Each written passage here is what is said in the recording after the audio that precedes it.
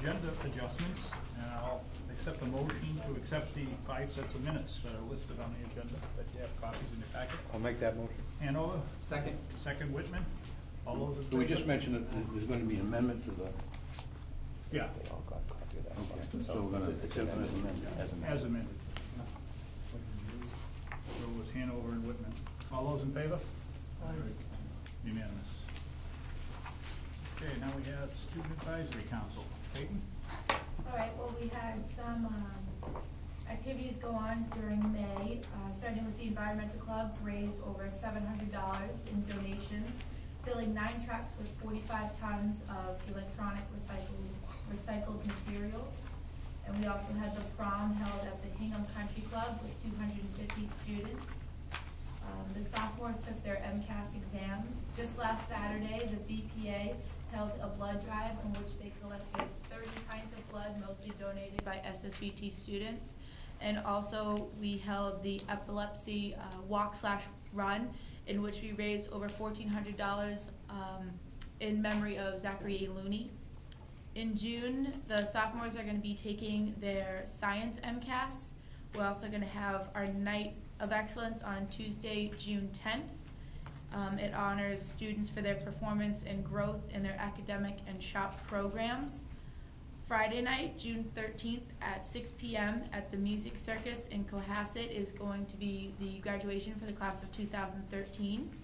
And What year? 2014, sorry. And They're coming back. I'm not doing this again, folks. We're gonna do it over again. That's just a dry run. And also, we um, have started planning the end of the year field day events. Okay, Thank you very much. Very good. Mr. Chairman, if I could ask Peyton to add one more thing to her report. Uh, Fifteen minutes ago, you had a different outfit on, and you have some good news to share. I'd Uh, like it yeah. said for the record, please. Uh, the Lady Vikings just won their first softball game, 18 to 13. Again, Very good. Congratulations. Thank you, Mr. Mayor. Peyton's last night tonight after being two years with us here, so we'd like to say thank you to her. Yep. She's going on to Wentworth next year, so we wish her well with that, and we thank her for all her efforts over the last two years. Thank you, Peyton. Thank you very much. Thank you, Peyton. Uh, okay, so now we have the student and employee spotlight. Dr. Hickey? Thank you, Mr. Chairman. This is a great, uh, a great night, and we're thrilled once again at our May committee meeting to be able to talk about uh, not only Skills USA and some just phenomenal success at that state competition, but also you'll hear uh, a little bit later after Skills USA, we'll, we'll learn a little bit more about the business professionals of America as well. So it's my pleasure to uh, introduce our Skills USA advisor who puts in countless hours for this task, Mr. Bob Mello, who's one of our metal fab welding instructors. Um, Skills USA um, is an awesome program that's used in vocational education.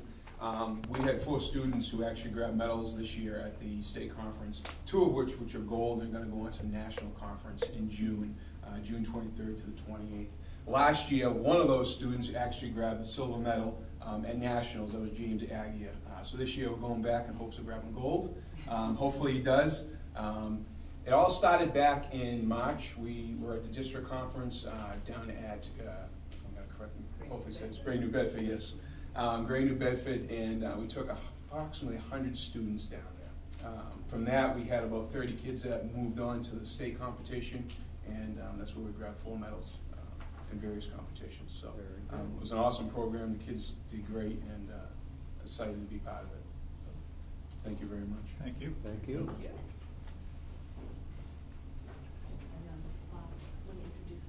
absolutely, yeah. Um, James, um, James Hoy, welding, he grabbed bronze. Um,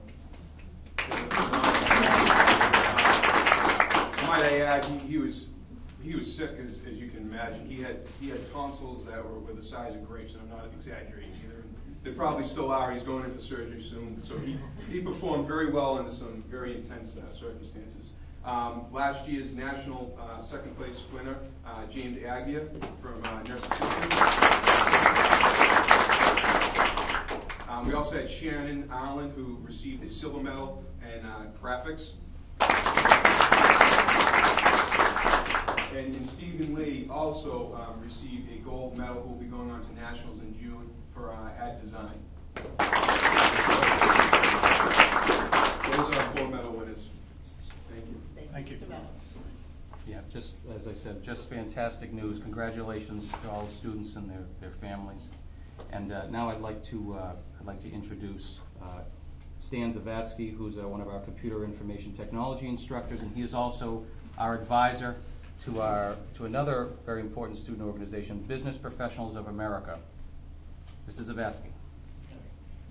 Well, we've been around for just two years, and we've been very lucky where Christina had, Brennan made nationals the past year. And she was, or because she was not feeling so well, but she really did a good job there. Um, It's been a slow and steady progress for us. We only really have seven members right now. Next year, we're gonna be increasing it once again. Our goal is just really to be a part of the school, and part of the school culture. We've really done it for the first two years, we've been doing this since with the blood drives. Uh, we've held four over the last two years. Really wanna give back to the community, be able to have our students participate in the school, especially with donating blood. Um, we'll be trying to do more like a- those areas next year. Um, our growth, we're actually looking at adding graphic arts to be part of this, it's primarily my shop right at this point. But we wanna add more people to really participate in it. I mean, it's very similar to skills where it is a focus on leadership, giving back to the community. Uh, we do have competitions, from IT to graphic arts to accounting to, so they do, uh, the business side of things. Um, Christina was lucky, she did extemporaneous speech, and she qualified, and was, really, we're very happy our second year to get someone to go to a national competition already. Um, and I'll say, Christina could stand up, just. Christina, extemporaneous speech, I wouldn't ask for that now, but would you, would you care to share any observations from your experience, uh, what it was like? What, what did you compete in, or some of the other activities you participated in while you were out there? Um, I just participated in uh, extemporaneous speech, um, but I had two minutes to prepare a speech, and then I just performed it in front of uh, three judges. And, yep, and then the. And- and- And you've been part of our drama club for all Uh, four years or yeah, three? four years. So that, did you draw on those uh, skills and talents? That's my secret. It's out now. All right. All right. Congratulations, that's fantastic. Great job. All right. So there are two, I mean, the, the Brennan family also, we can, we can say thank you to Coach Heather Brennan, our science department head, who is Peyton's softball coach. Well done, Mrs. Brennan. All right. Yeah. Everybody to friendlies, there we go. On you? Hey, sure, sure, I got five bucks. Thank you, Mr. Chairman. Okay, so we'll move on to the uh, reports. Treasurer, Mr. Kelly. Okay. Good evening, uh, nice to be back. I missed last month's meeting, but I'm here again, so. The treasurer's report was sent in the mail to you, and we have a Memorial Day uh, motif on the front this time. Uh, We move on to page one, the summary of our financial position. Uh, I just want to note, there's a typo on the interest rate for the Mass Municipal Depository Trust. It should be eighteen basis points, not one eight two basis points. But again, we continue to make uh, a significant amount of money on our investments. We made five basis points on our money market account, eighteen basis points on our investment account, and almost two million dollars uh, last month. We made hundred and eighty-nine dollars. So, the rates are projected to stay this way until middle to late fifteen, so it doesn't look like we're gonna be able to enjoy any additional interest. The, uh, the checking account is high because the next day I had a payroll. It's over three hundred thousand dollars. Usually it's under hundred bucks at the end of the month. Last month it was seventy-four. So, That's the reason why it's so high. Does anybody have any questions on our summary, our financial position on April thirtieth? If not, we'll go to page two, which are the revenues. Uh, and, uh, the second column is what we received in a month. Uh, the town of Hanson, uh, missed the, the due date of April first of their assessment. We did get it on April third, so that's not too bad. All right, but they were the last town to pay us our April first assessment. Uh, And again, the chapter seventy money, you can see that the three hundred eighteen thousand, again, is coming in twelve times a year, whereas in prior years it came in four times a year, quarterly.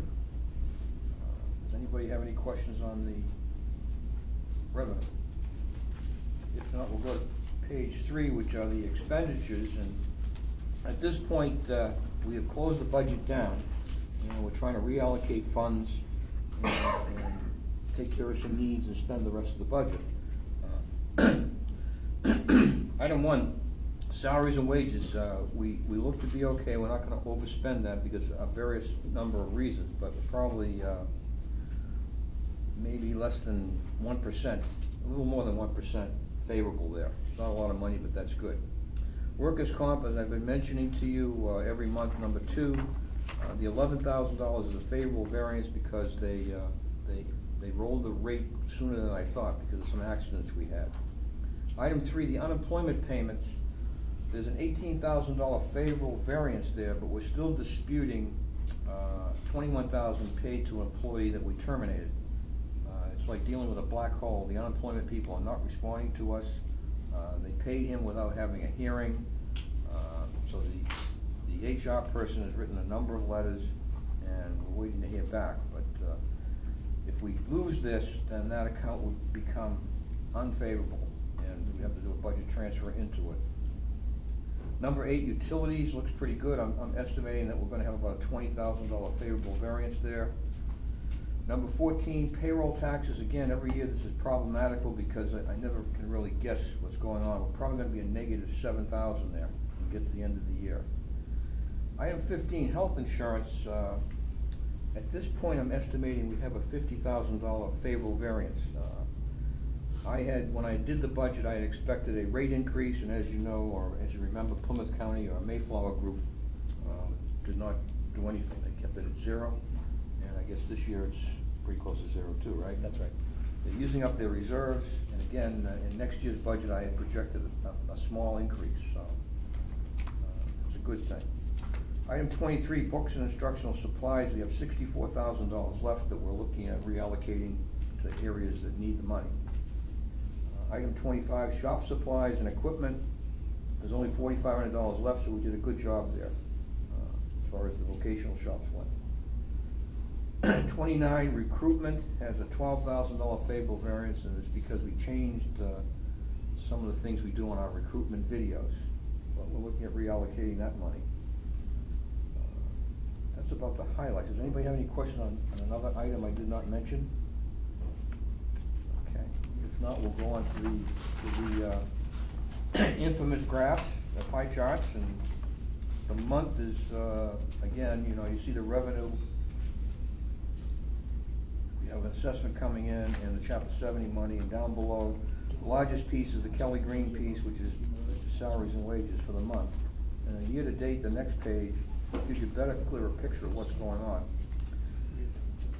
You can see that the, the red part of the ch- chart represents what the state pays us for chapter seventy, and the Kelly Green piece is what the, the, uh, the towns pay us for assessments. As I mentioned before, that used to be 50-50, but you can see by the split in that pie chart that it's not 50-50 anymore. The towns are paying more of our budget. And again, the bottom part shows our expenditures through April, the largest being salaries and wages, which is uh, five million dollars. Uh, So that would be the treasurer's report, Mr. Chairman, and I have one budget transfer. As you saw here, we had uh, all these students participating in the Skills USA competition. while we didn't have enough money to fund it all, so I'm asking to transfer twelve thousand dollars more into that account uh, cover the fact that we had a tremendous amount of students participate, and we had to pay costs for that. Okay, I'll ask for a motion to accept the treasurer's report. Uh, Cohasset, do we have a second? Rockland, all those in favor? Aye. And I'll ask for a motion to accept the budget transfers. So moved. Piano, Whitman. All those in favor? Okay. GASB forty-five. Okay, we sent you the, uh, the executive summary. I, I get this, uh, we we hire an actuary every three years to, uh, calculate what our other post-employment benefits liability is, because we're required to disclose it, and we're trying to fund it, as you know. Uh, And uh, what's happened is, since the last time we did this, which was uh, in twenty-ten, uh, the, the accrued liability has increased by one point one million dollars. We've gone from four point, four point four to five point five million uh, liability. Uh, The reason, the major reason is that, uh, if you look at uh, the page that has a graph on it, it shows you how many retirees we have. The last time we did this evaluation, which was four years ago, we had twenty-six retirees. Uh, Now we have fifty-two. And they're projecting uh, far as sixty-nine, another twenty years, but that could change because people may re- decide to retire early. I really think that uh, when you do contract negotiations, we have to try to find some way to get this OP, OPEB number down. Uh, Right now, we have funded about four hundred and fifty thousand of a five point five million dollar liability, so you're short five point one. If we funded it annually, we would have to put in four hundred ninety-nine thousand dollars in the budget, which is almost five percent, yeah, per year. It was four forty-three, but it's gone up to four, four ninety-nine. But we have done, you know, you you should be commended because we have done more than what most communities have. I mean, we have almost a half a million dollars put away, and when the interest rates turn up, that will be ch- earning us money and cutting into the, the liability that's out there. It's just, the- you can't earn anything on it now. Right. So I, I just, would- again, I I think two things you need to do. Number one is try to get it limited through contract negotiations.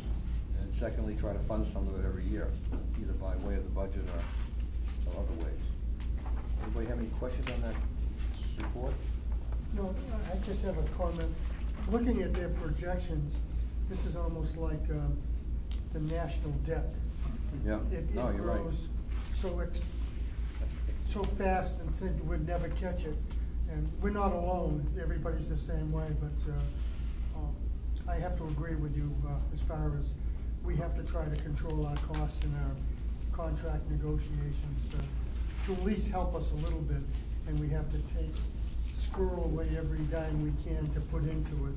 Because if we don't, and it's, those with wisdom decide to uh, push us on it, we and many others will actually go broke. So, just my comment.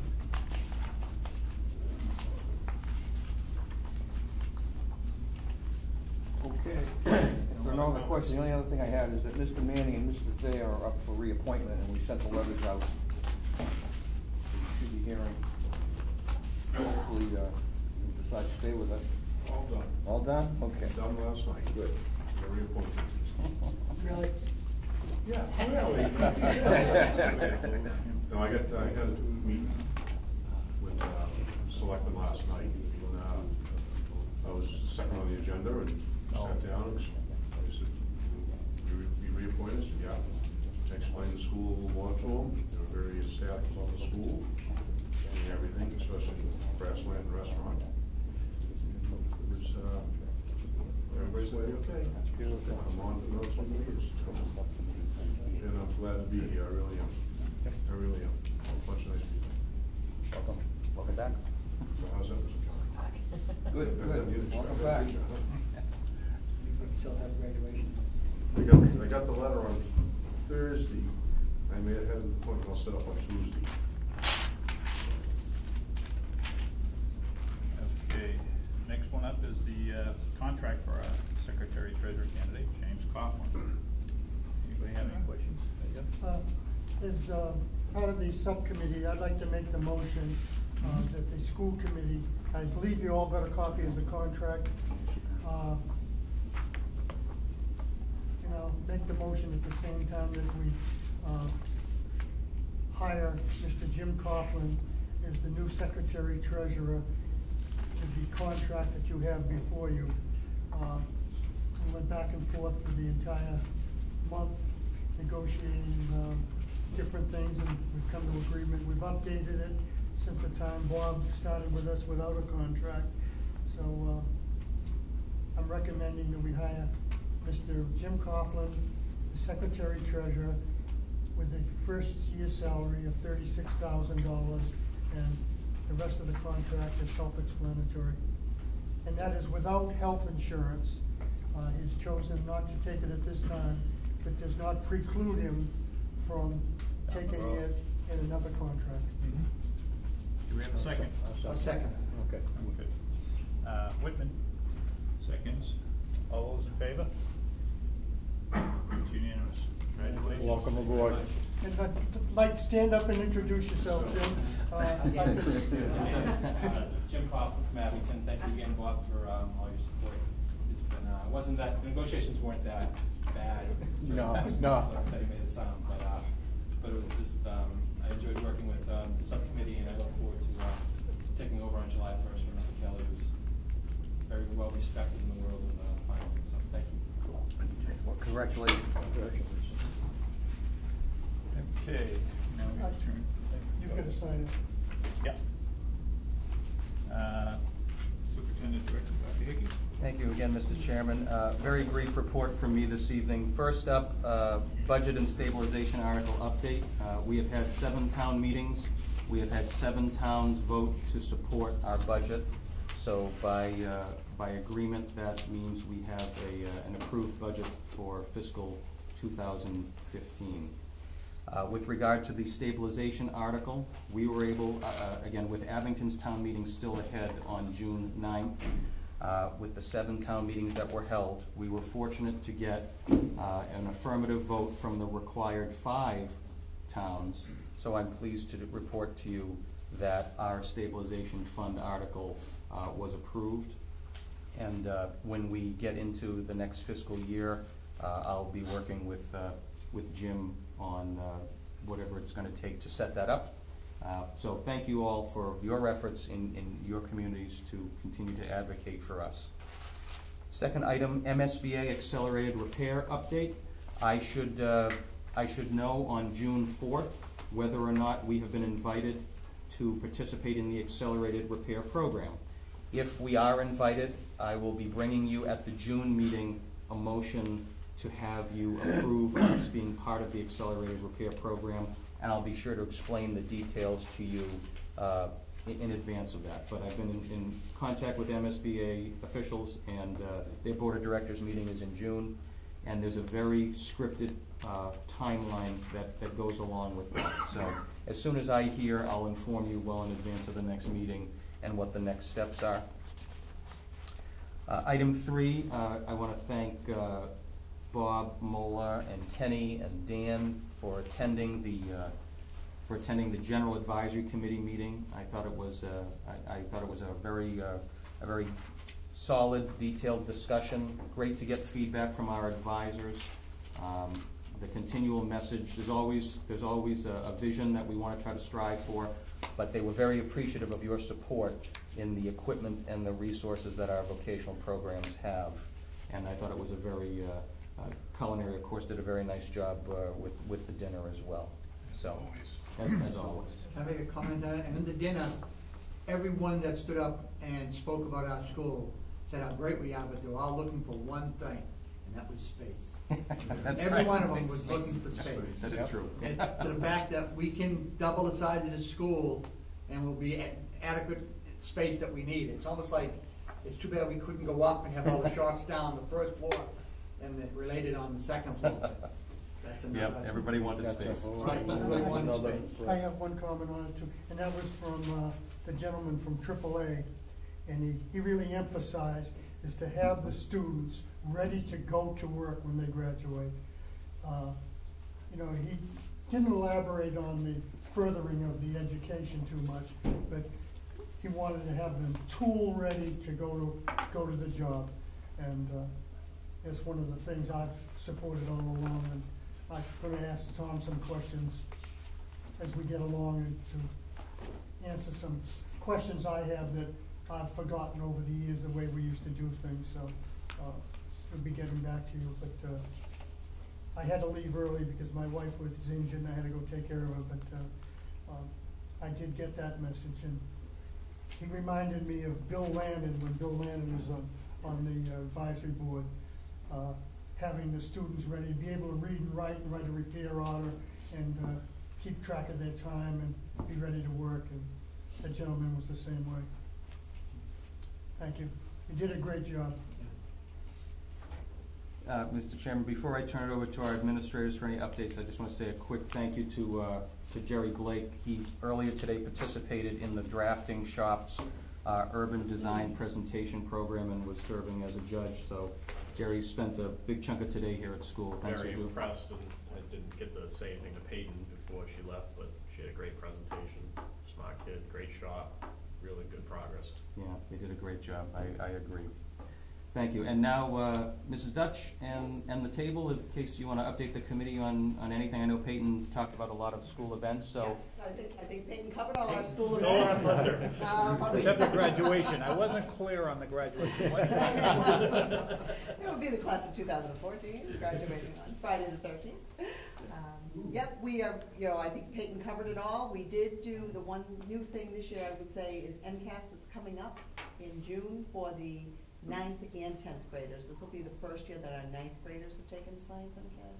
Uh, we usually give it in the tenth grade, so this year we'll be testing the ninth and the tenth graders. So, um, we'll be testing about three hundred students on June second and third. But I think that's all that's new. I, I, I, I think you're selling yourself short. You, you, you, you, you- you folks pulled off, uh, something this past weekend relative to our incoming Well, freshman that's, class. that's Mr. Auburn. Oh, don't be shy. Passing the buck down the. Uh, with, um, Mr. Janicki's help and also Ellen Whittier, who is our, um, sped coordinator, the three of us met with approximately eighty families that are, are incoming eighth graders who are gonna be ninth graders next year. Uh, the students were taking, um, not, not placement tests, but knowledge tests so we can gauge what they know and what they don't know. Benchmark testing, so we can gauge what they know and what they don't know. And at the same time, we had the parents down in our lecture hall, so we could kind of introduce ourselves, talk about what our missions are, what our goals are, what we expect from their students, what we expect from them, and start building that four-year relationship, and hopefully for many of these families, much more than four years, because they'll send more children here and keep us all busy forever. I'll just add something to that, Tom. I was up at a baseball field, which is where I'm usually at now, at nights.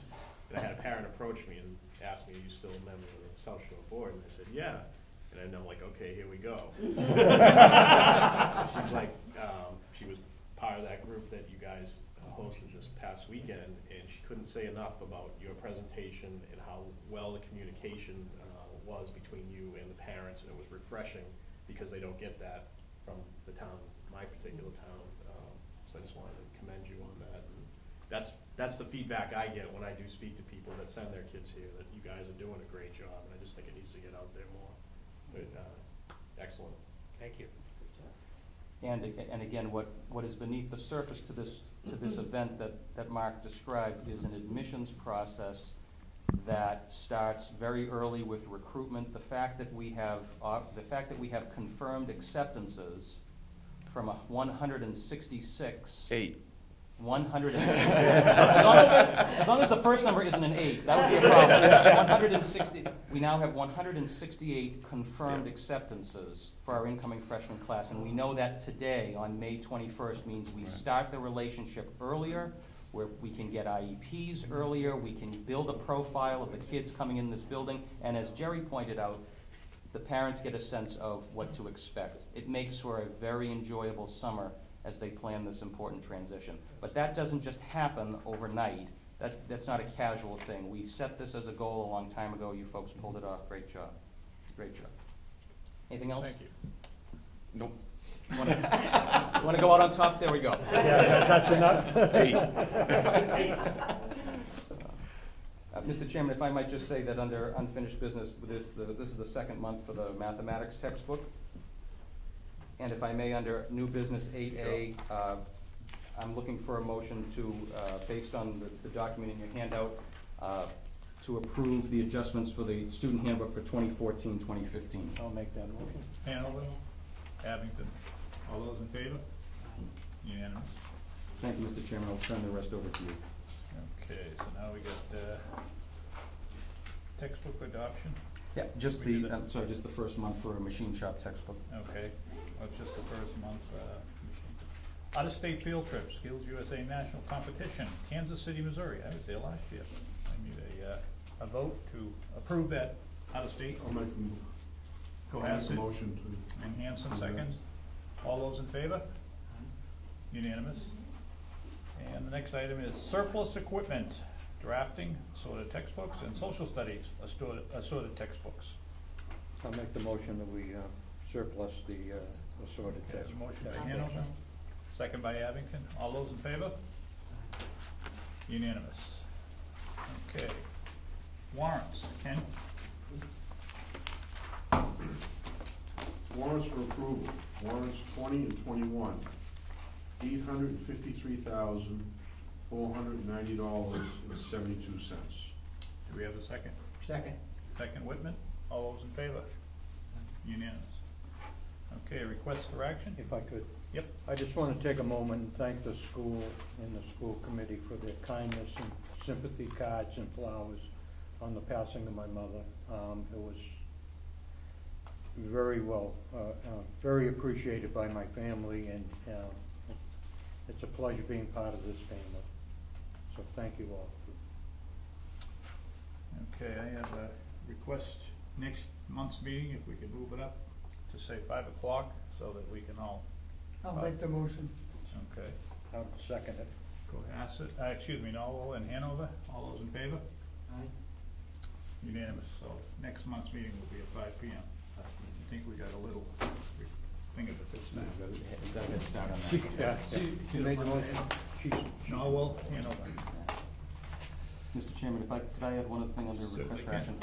I, I neglected to mention, uh, members of the committee, in your correspondence file, just to bring to your attention, there is a spiral-bound copy of the, the the decennial NEASC report. There is no action to take tonight, but I just wanted to give you a heads up that this is the year and a half's worth of work the faculty put in. We had that visit back in October, and so the, the commission voted to continue our accreditation.